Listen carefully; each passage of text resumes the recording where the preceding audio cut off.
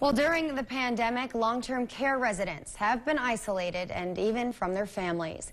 But the North Dakota Department of Human Services is working to make sure they get to see their loved ones.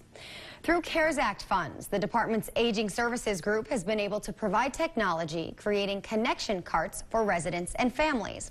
We spoke with the director who says these connection carts will help tackle the issue of social isolation that has affected the mental health of both residents and their loved ones.